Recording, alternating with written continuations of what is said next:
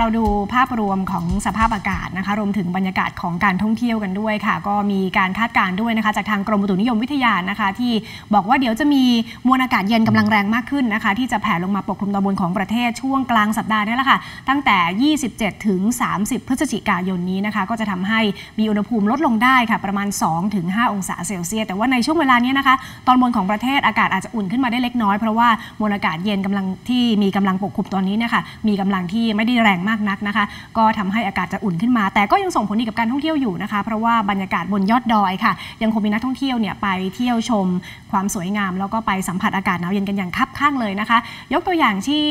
ดอยอินทนนท์ค่ะที่จังหวัดเชียงใหม่นะคะ ถึงแม้ว่าอากาศจะอุ่นขึ้นมาบ้างนะคะ แต่ยังมีนักท่องเที่ยวค่ะ ขึ้นไปสัมผัสอากาศที่หนาวเย็นกันอย่างต่อเนื่องเลยนะคะ อย่างล่าสุดเมื่อวานนี้เนี่ยรวมแล้วมีนักท่องเที่ยวค่ะ ขึ้นไปเที่ยวชม ดอยอินทนนท์เนี่ยมากถึงกว่า 5,200 คนเลยนะคะ บรรยากาศยังคงคึกคักต่อเนื่องเลยทีเดียวค่ะ ก็เช้าวันนี้นะคะ มีรายงานที่อุทยานแห่งชาติ ดอยอินทนนท์จังหวัดเชียงใหม่ค่ะคึกคักไปด้วยนักท่องเที่ยวจำนวนมากนะคะ ก็ขึ้นไปที่จุดชมวิว จุดชมวิวเป็นจุดชมแสงแรกนะคะที่กิ่วแม่ปาน รอชมพระอาทิตย์ขึ้นยามเช้ากันค่ะ แต่ว่าหลายคนบอกว่าผิดหวังนิดหน่อยนะคะ เพราะว่าวันนี้สภาพอากาศปิดค่ะมีหมอกลงจัด แต่ว่านักท่องเที่ยวก็ได้สัมผัสกับบรรยากาศความเปลี่ยนแปลงของธรรมชาติในแต่ละวันนะคะ ที่ไม่สามารถจะคาดเดาได้ แล้วก็อุณหภูมิ วันนี้ก็อุ่นขึ้นมาเล็กน้อยนะคะ อยู่ที่ อุ่นขึ้นมาประมาณสัก 2-3 องศาเซลเซียส เช้านี้ค่ะอุณหภูมิต่ำสุดที่ดอยอินทนนท์นะคะ วัดได้ 9 องศาเซลเซียส ส่วนที่กิ่วแม่ปานค่ะต่ำสุด 12 องศาเซลเซียสนะคะ และที่ทำการอุทยานอุณหภูมิวัดได้ 14 องศาเซลเซียส มีนักท่องเที่ยวสะสมจากเมื่อวานนี้ค่ะ รวมมากกว่า 5,200 คนเลยทีเดียว จากที่เชียงใหม่นะคะ ไปที่แม่ฮ่องสอนกันบ้าง ที่บ้านรักไทยตำบลหมอกจำแปะอำเภอเมือง บรรยากาศการท่องเที่ยวคึกคัก รับลมหนาวค่ะ เช้านี้อุณหภูมิอยู่ที่ 17 องศาเซลเซียสนะคะกำลังเย็นสบายเลยค่ะ ส่วนช่วงเย็นๆ กับช่วงกลางคืนนะคะ อุณหภูมิลดต่ำลงมาอีกค่ะ อยู่ที่ประมาณ 10ถึง15 องศาเซลเซียสเท่านั้น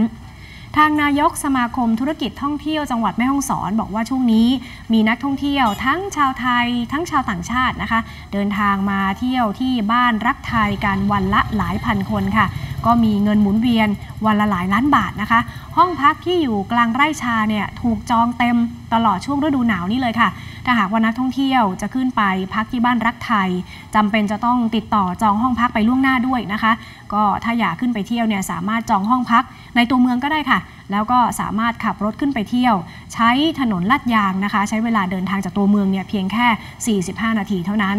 ส่วนร้านอาหารที่บ้านรักไทย ถึงแม้ว่าจะมีหลายร้านก็ตามค่ะ แต่ว่าด้วยความที่นักท่องเที่ยวมีจำนวนมากนะคะ ก็ต้องไปยืนรอให้โต๊ะว่างกันก่อนค่ะ เพราะว่ามีผู้มารอใช้บริการกันคับข้างทีเดียว อย่างไรก็ตามนะคะก็ฝากเตือนค่ะไปยังนักท่องเที่ยวที่ขับรถไปเองด้วยนะคะ หรือว่าใช้รถรับจ้าง ต้องใช้ความระมัดระวังด้วยนะคะ เพราะว่าเส้นทางขึ้นไปยังบ้านรักไทยเนี่ยค่อนข้างจะคดเคี้ยว มีรถจำนวนมากค่ะ เดินทางขึ้นลงอยู่ตลอดเวลา ระหว่างทางก็สามารถจอดพักรอที่อุทยานน้ำตกผาเสือได้นะคะ ผ่อนคลายบรรยากาศกันก่อนที่จะเดินทางต่อค่ะ และในเส้นทางเดียวกันนะคะ นักท่องเที่ยวก็ยังสามารถแวะเที่ยวที่ปางอุ๋ง หรือไปชมทะเลหมอกค่ะ สัมผัสอากาศหนาวเย็นที่บ้านรวมไทยได้อีกจุดหนึ่งด้วยเหมือนกันค่ะ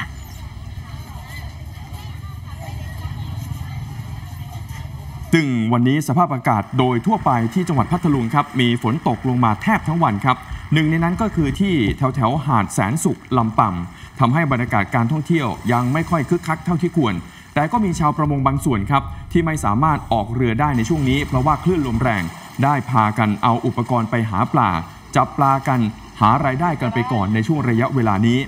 ส่วนในเขตเทศบาลตำบลปรางหมู่ ซึ่งเป็นจุดที่ได้รับผลกระทบจากปัญหาน้ำท่วมในช่วงก่อนหน้า ประมาณวันที่ 22 ถึง 23 พฤศจิกายนที่ผ่านมา ล่าสุดสถานการณ์น้ำท่วมเริ่มลดลง การสัญจรไปมาในพื้นที่หมู่บ้านเริ่มเข้าสู่ภาวะปกติบ้างแล้ว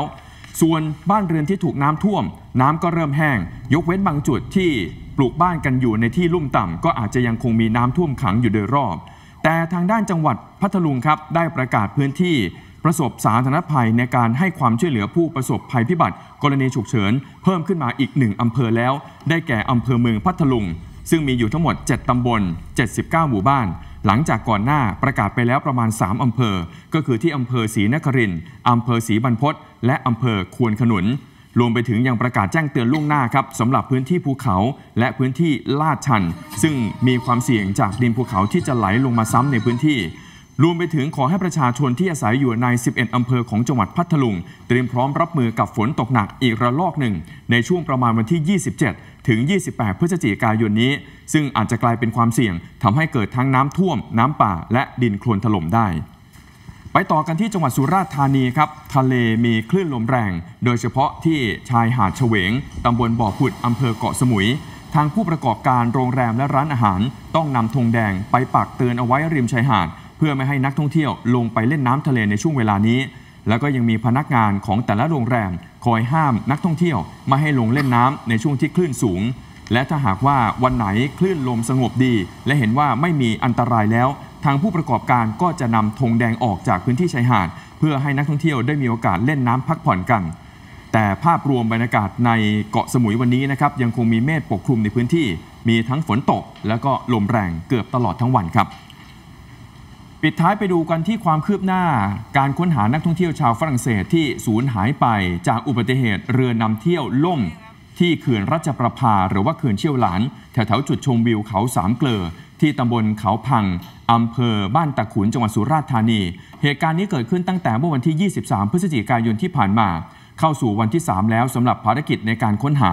เจ้าหน้าที่ได้นำภาพถ่ายจากโดรนใต้น้ำมาวิเคราะห์การไหลของน้ำในเขื่อน หลังจากนั้นก็ให้นักประดาน้ำลงไปค้นหาใต้น้ำแล้วว่าวันนี้ยังมีทีมสนับสนุนที่เป็นนักประดาน้ำจากจังหวัดภูเก็ต แล้วก็เป็นนักประดาน้ำชาวต่างชาติอีก 12 คน มาร่วมในภารกิจด้วย แล้วก็ได้มีการนำเครื่องโซน่าของทางตำรวจน้ำมาสนับสนุน และยังใช้โดรนใต้น้ำมาช่วยการค้นหาอีกทางหนึ่งด้วย